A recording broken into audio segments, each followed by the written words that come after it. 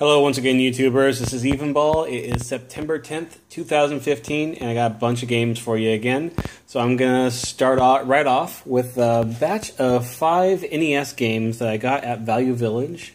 These were 30% off uh, the mark price, um, and uh, it was a really good deal, as you'll see. First up, I got Goonies 2 and uh, fantastic uh, Metroidvania style game, pretty early, but uh, it's a lot of fun and uh, very well known by by most uh, gamers. Next up, Double Dragon Two, another fantastic game, and uh, this is only five marked at five bucks, and so is Goonies Two. And now on to the even better games. Let's start off with Mega Man Three.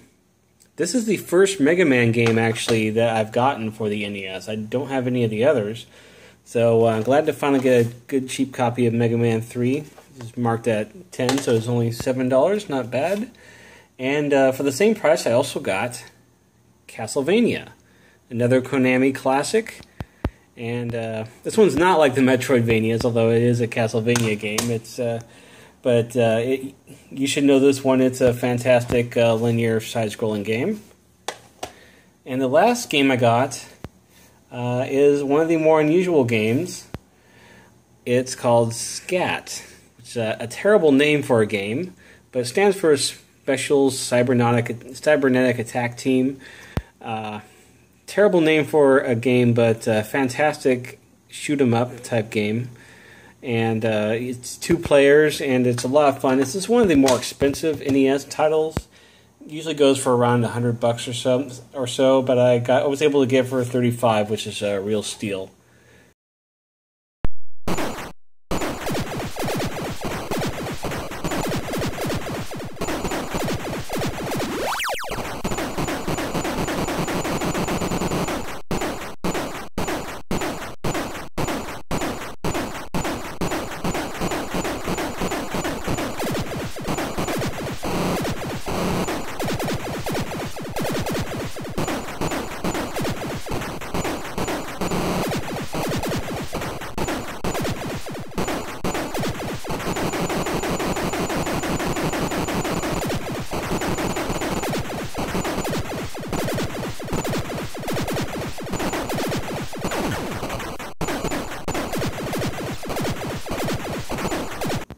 Okay, so let's move right along. I also got a bunch of GameCube games this these last few weeks.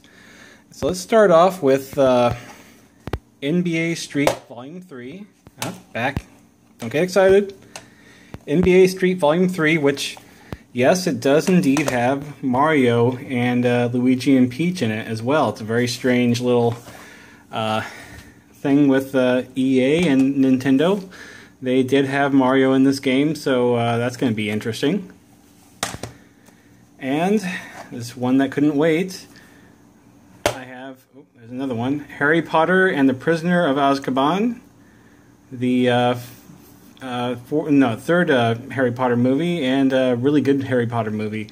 Uh, this makes uh, the second to the last Harry Potter game that I need for this system in order to have all, all of them. So the last one I need is the Sorcerer's Stone. Believe it or not, the uh, the first game in the series is actually the hardest to find on the GameCube. And next I have a game that uh, is well known, Time Splitters 2. This one's a player's choice game, but uh, I have a hard time finding this one out in the, wild for whatever reason. Uh, so I thought I might as well grab it. It's in good condition and uh, I don't have to be picky all the time. So, uh, but this is a fun first-person shooter. I have Time Splitters three already, which is the hard to find one, the even harder to find one. But uh, glad to finally get this one in my collection. Now I got a few Madden games. These were all a dollar each, so I might as well just get them out of the way. First up is Madden 2005. And I got Madden 2004. And of course, Madden 2002. Now, I also found a sealed GameCube game, and that is Donkey Konga 2. totally brand new and sealed. This was only uh, five bucks, so not a bad price at all. And uh, I'll see if I can. I might open this one and play it. Uh, I don't. I don't know. I I haven't opened up most of my sealed games yet. Uh, it's kind of neat to have a few sealed games around. But that game looks fun. Speaking of sealed games, I have even more. I just couldn't uh, get away from the sealed games this uh, this last month. I also have on the PlayStation 2 Siren. Found this one for seven bucks. Not bad. Uh, it's supposed to be a really scary game. Never played it, but uh, it looks like it'd be really scary if I decide to open it. and I have a sealed DS game which is Dig Dug Digging Strike. This was not $10, this was actually $4. I found a place that was selling a bunch of games for $4 a piece at the swap meet, and uh, this was in there. Along with this, I also got Trace Memory for the Nintendo DS, which is a pretty interesting looking game. And I got three Dreamcast games. They're all $4 each. Floigan Brothers. Revolt. It's a fun uh, uh, car game. And a game I don't know too much about, Toy Commander. It's kind of bizarre and fun. Okay, but that's not all. I got even more games here. I got uh, also recently, uh, I picked up Contra Shattered Soldier for the PlayStation 2. Yeah, it's only two bucks, and this is actually not a bad Contra game. It's uh, surprisingly for the PlayStation 2, they they decided to go classic Contra on this one and make it uh, 2D side-scrolling and and uh, crazy and weird, and it works. It's not a bad game at all. Now I have another sealed game, uh, and another one that I purchased at the uh, swap meet. This was only a dollar, but it's another big box game, and it's called Heart of Darkness. And uh, I've heard a lot about this game. I've heard it's actually uh, pretty good. Um, I don't know all that much about it, but I know it's made from the guy who made Out of This World, which is a very popular game. And he, then he spent uh, years making this game, and it didn't really catch on. And unfortunately, that was pretty much the end of his career. But uh, this is supposed to be a pretty interesting game. Unfortunately, it's sealed, so I really can't play this version unless I open it, which I, I might do. But I don't really have to because I just so happen to find the PlayStation version, which uh, is opened, just missing the instructions. But uh, I may as well give this one a whirl and see what it's all about. Also, I got uh, Animaniacs 10 Pin Alley because it was only $2 and I love Animaniacs. This looks like a kind of an interesting and funny uh, bowling game.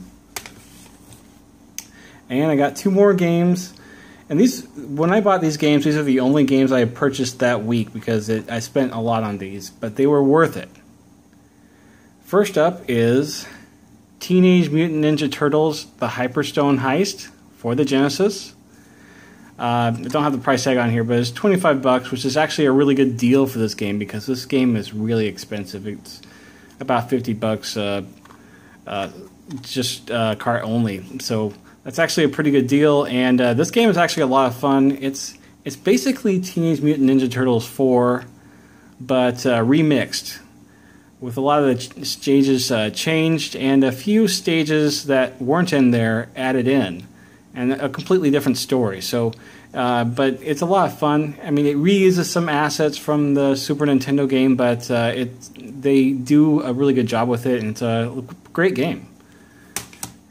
And I also got a shooter for the Genesis, and this is called Gaia-Rez or Gary's or however you pronounce it. I, I, I, I my uh, my instinct is to call it Gaia-Rez because it looks like Gaia for Earth and Res. So uh, but uh, this is a fun shooter.